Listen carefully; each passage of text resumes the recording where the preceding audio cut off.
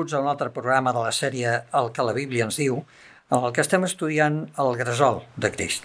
I aquí seguim com els nois de Calella al peu del canó, intentant trobar les respostes a les preguntes existencials i transcendents que ens fem la majoria dels éssers humans quan atravessem alguna circumstància desagradable o feixuga o dolorosa. Us parlem amb molt de gust en Jordi Abad i en Ferran Sabater.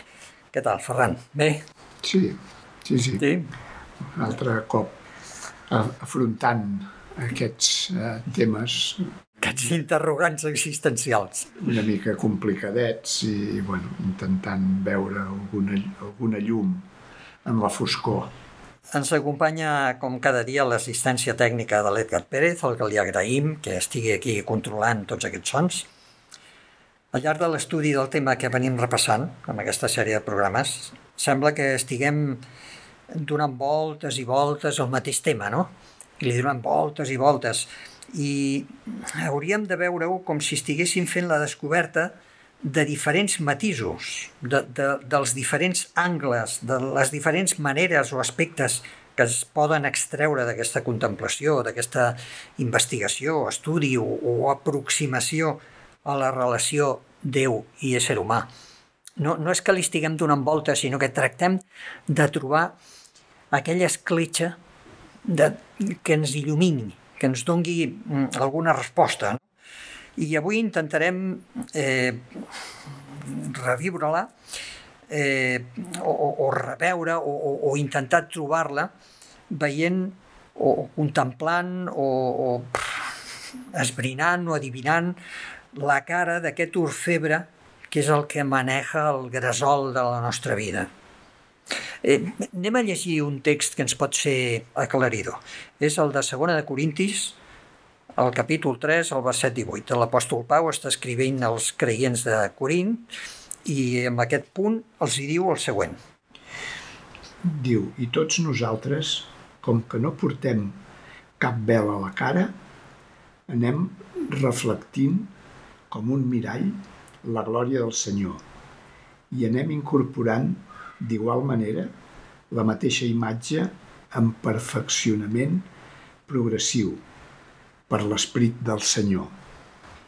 És interessant. Sabeu, una vegada una mestra va portar els nens a veure com es fonien els metalls i els va portar amb un orfebre les persones, els joiers, que manegen els metalls preciosos, i llavors els nanos van veure com aquell orfebre posava el gresol el, el metall que es tenia que purificar, que es tenia que fondre, i llavors li ficava sota molt de foc i anava calentant, anava calentant, anava calentant i aquell metall feia xisporrotejos i anava calentant i tot un plegat el, el orfebre el agafava, el mirava i deia no, encara no està, pum, i li ficava més el foc.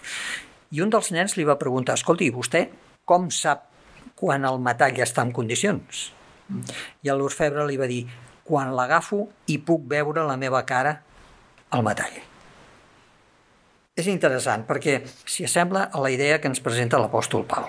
Nosaltres anem contemplant a Déu, anem contemplant a Déu i a poc a poc ens anem transformant, anem desenvolupant aquells trets de caràcter que ens fan més semblants a Déu o, o, o més adients per poder triomfar o per poder superar totes aquestes dificultats. Mm -hmm. Mm -hmm. Aviam, evidentment, la, la imatge eh, humana de, del creador s'ha perdut, s'ha esborrat. Eh? Aquella eh, eh, imatge primigènia que eh, podia tindre Adam i, i, i Eva pues, s'ha anat, anat eh, diluint el pecat ha desfigurat a través de generacions eh, la imatge original de, de Déu en les seves criatures humanes. Podem eh, dir que el conflicte còsmic, eh, en aquest conflicte còsmic, nosaltres som a la vegada actors i espectadors. Eh? Ho diu 1 Corintis capítol 4 i verset 9. Eh? Diu, a nosaltres ens ha convertit en espectacle per tot el món, per als àngels i per als homes.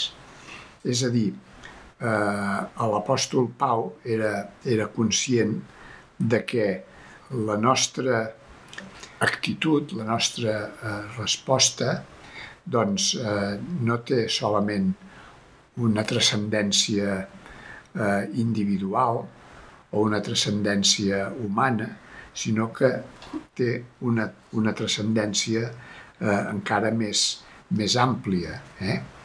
que d'alguna manera també eh, ensenya, també és un ensenyament per altres éssers eh, lliures i intel·ligents que no, no van eh, fer cas de, de les insinuacions del, del diable, eh?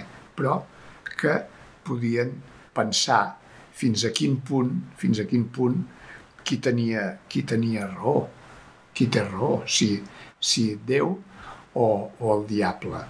Doncs, d'alguna manera, eh, els éssers humans som un espectacle, un espectacle per, per, altres, per altres éssers humans i per altres éssers intel·ligents sobre quina resposta eh, donem, quina actitud eh, prenem enfront de el que podríem dir les, les barbaritats que el eh, Satanàs ens infligeix. I, I aquí està precisament poder el kit de tota la qüestió, quina és la nostra decisió, quin, és la nostra avaluació del tema perquè, com has dit bé, hi ha un conflicte enorme, hi ha un, una guerra, una disputa, un, una baralla, un, en fi, diguem-li com vulguem, entre el bé i el mal, no? entre la veritat i la mentida, la justícia, la impostura, l'ordre, el caos, la fidelitat i la desobediència. I nosaltres som també actors amb, aquest, amb, aquest, sí. eh, amb, aquest, eh, amb aquesta obra. Sí, sí. Al principi, clar, Déu va fer a l'ésser humà a la seva imatge. I el va fer, doncs, perfecte. I la desobediència, allò que dèiem en un altre programa, que quan sí. desobeïm, quan ens allunyem de Déu, ens anem introduint amb, amb el caos i amb la desesperació, doncs aquesta desobediència, allò que coneixem com pecat, va distorsionar aquesta imatge i, i aquesta semblança que l'home tenia. I per això, malgrat això, l'apòstol Pau ens diu ara per ara, ens ha destinat a esdevenir una rèplica de la imatge del seu fill. Déu vol que siguem aquesta imatge. Ell ens ha destinat amb això. I ve el dimoni i ens arrenca d'aquest propòsit, d'aquest desig, d'aquesta esperança. Llavors, clar, si ens posem a analitzar els resultats d'aquesta desfiguració de la imatge de Déu, Aquí ens trobem fermetat, pecat, patiment... Eh, bueno, Sí, sí. I, I els que sou metges eh, poder podríeu parlar més amb més propietat de tot mm, sí, lo sí. dolent i, i d'on ha arribat a l'ésser humà, no? Els estigmes, els estigmes vol, vol dir la, les impressions eh, eh, físiques i també morals doncs d'aquest esforç satànic per desfigurar desfigurar l'ésser humà, eh? per borrar, per borrar la imatge eh, de Déu, tant de la ment humana com de, del cos humà. Aquesta, estic pensant que a vegades eh, ens esforcem o, o, o ens capcem amb que les coses van bé. Van bé, tot està bé, tot està perfecte, però quan escarbem una mica a la societat, veiem tantes desigualtats, tantes problemàtiques, tanta gent que ho està passant malament, i no solament per enfermetats o per accidents o per càncers i Covid i coses d'aquestes. Econòmicament. Menjar cada dia políticament, sí, sí. Aquest matí estava escoltant a la ràdio, quan m'he aixecat, esmorzant, eh, aquí a Catalunya estem assolint el 25% de la població ja està amb l'índex de pobresa. Sí, sí. És a dir, que no anem cap a bé, anem cada vegada pitjor. I, i amb aquest conflicte que els cristians defenem i, i entenem i la gent s'empenya en no entendre, amb aquest conflicte cada vegada Sí. estem pitjor i, i no millorarem. Sí. Sí, sí. Ah, Llavors, d'aquí que la nostra decisió personal sigui acollir-nos a l'esperança, acollir-nos a la solució divina. És que no n'hi ha una altra. Sí, el que passa que també, aviam, el, el desig humà, la curiositat, està present des de el moment que Eva, a les recomanacions de, del diable, eh, es va embolicar. Eh? I les conseqüències doncs, van ser les que, les que coneixem.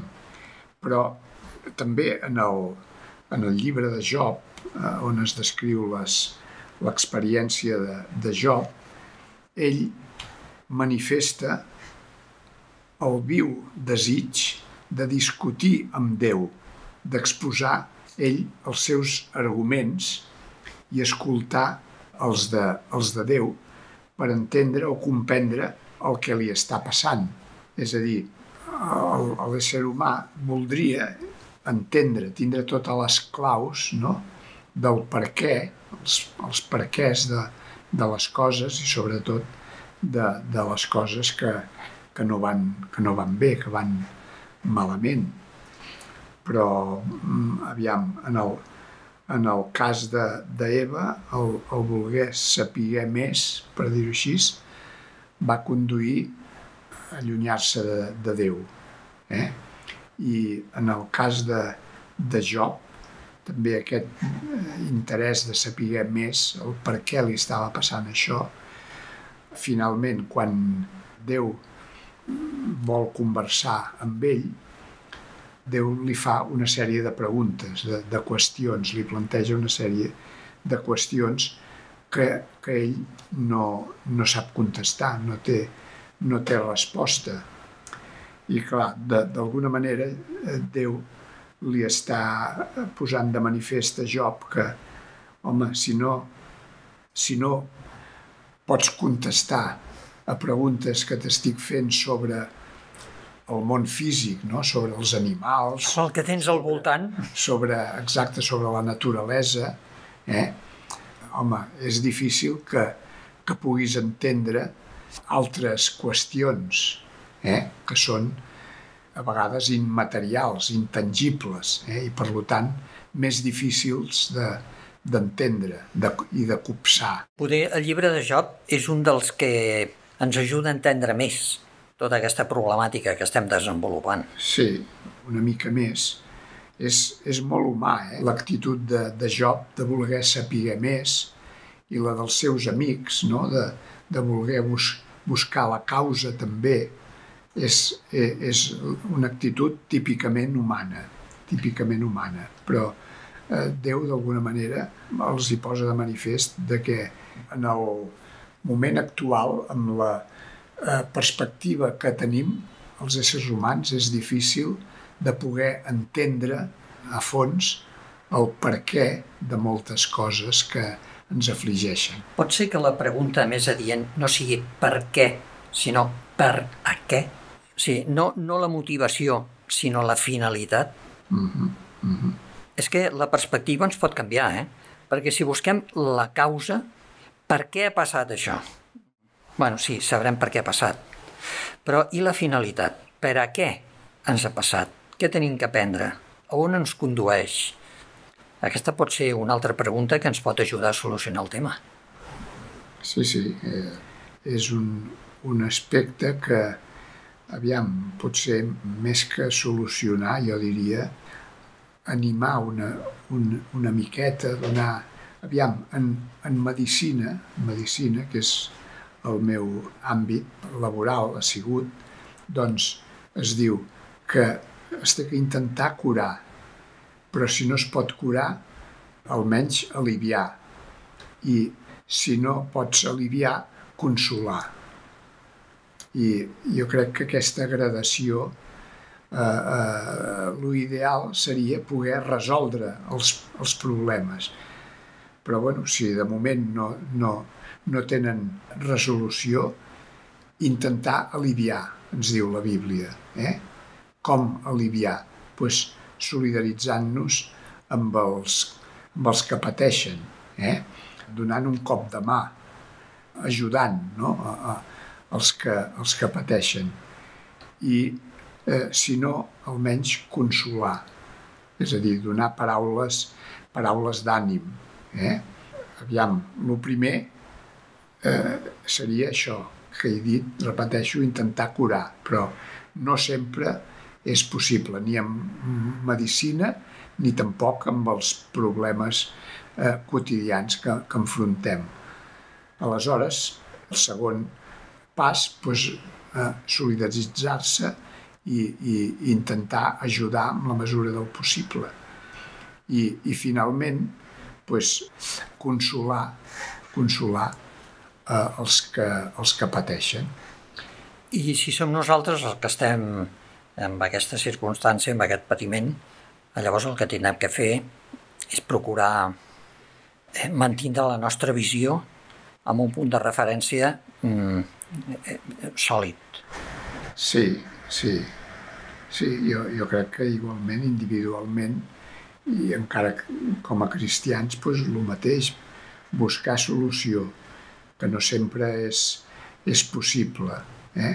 bueno, aliviar la situació i, i, i consolar-nos en, en les promeses que la lectura de la Bíblia i els exemples que estan recollits a la Bíblia doncs ens poden proporcionar un cert consol. No? A vegades penso que també en aquest aspecte ens fa falta una mica, bueno, una mica, un bastant de paciència. Mm -hmm jo recordo, quan era jove, que volia tindre una moto i no podia tindre la moto fins que no tingués 18 anys per treure'm el carnet de la moto i semblava que no arribava mai i, i, i bueno, doncs una moto de 50 centímetres cúbics que no necessito carnet doncs un...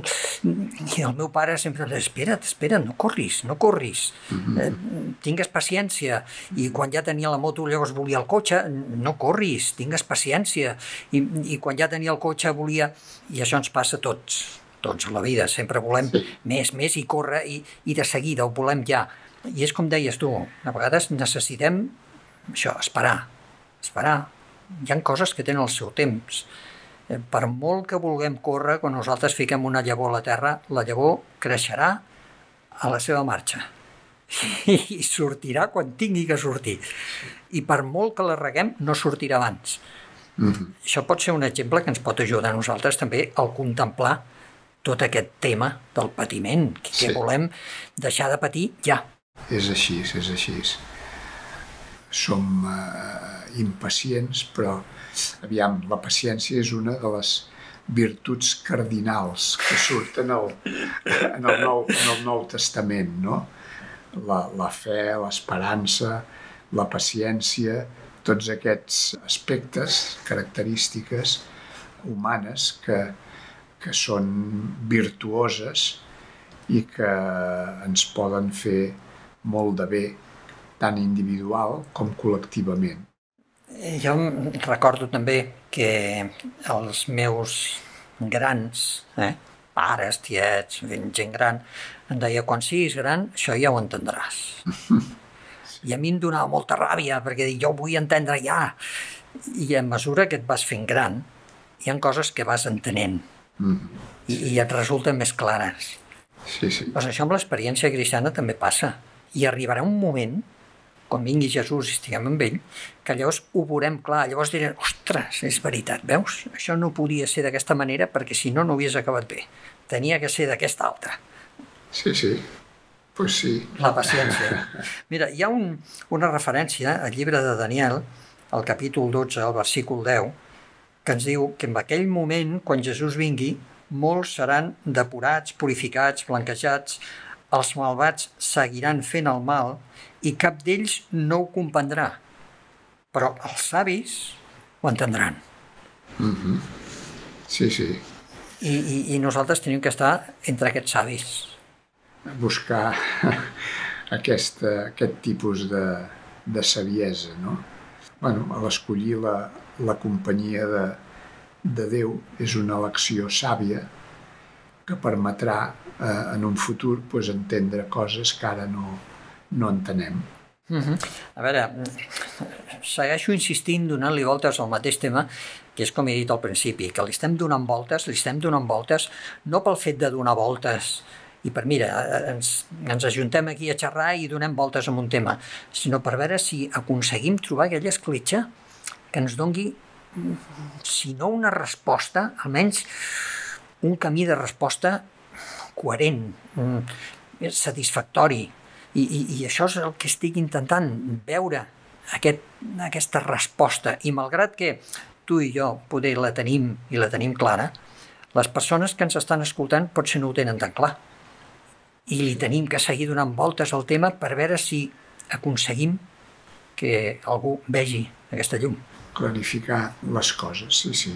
El que, el que sí està clar, bueno, està clar, el que jo veig clar és que el nostre caràcter o la nostra manera d'enfocar la vida és important. Perquè Jesús ens parla amb una paraula i diu quan jo vingui al final del temps, llavors separaré les ovelles dels cabrits. Per què les separa? Per la seva forma de veure la vida, per, per la seva forma d'obrar, d'entendre les coses, per, pel seu el, el pastor, caràcter, per, per la seva formació uh, bueno, pues, moral. Pues, uh, uh, així és en el, en la societat també. Eh? Hi, ha, hi ha cabres hi ha ovelles i bueno, depèn l'actitud de, de cada un pues, s'identifica amb uns o amb altres i el resultat pues, també és, és diferent en uns casos i en els altres. En un programa anterior fèiem la pregunta de que fins a quin punt nosaltres eh, som responsables socialment de la gent que està al nostre voltant. I poder aquest coneixement de, de la possible solució del problema ens fa més responsables moralment per atendre interrogants o de la gent que ens envolta. Aviam, segons, segons la Bíblia, d'alguna manera, el, el, els cristians pues, eh, eh, són o tindrien que ser com una, una llum no? en, en la foscor. Aquest era també el propòsit d'Israel en el, en el seu context eh, històric i social i religiós. Eh? Eh, doncs el, els cristians pues, eh, evidentment que tindrien que, que ser uns, agents, agents de, de, de millora, de, de, de, de salvació, entre cometes. Eh? Eh, però eh, jo crec també que moltes, moltes eh, vegades pues, anem, anem despistats per la vida. Eh? I, I si un mateix no té clar cap a on es dirigeix, quin propòsit té, doncs difícilment pot eh, ajudar amb altres persones a, a, a saber quin propòsit hi ha en la, en la vida i cap a on seria desitjable que, que es dirigissin. Doncs procurarem saber cap a on anem per poder arribar i per poder acompanyar gent que vingui amb nosaltres. I això és el que ens ha donat de si les consideracions d'avui. Esperem que us hagin ajudat a entendre una mica més la motivació i la finalitat del patiment. En el proper programa repassarem les experiències d'alguns personatges bíblics que van suportar eh, totes aquestes circumstàncies d'una manera profitosa i les reaccions que van tenir front a totes aquestes circumstàncies. Us esperem perquè puguem esbrinar junts els ensenyaments que podem extreure de, de totes aquestes experiències.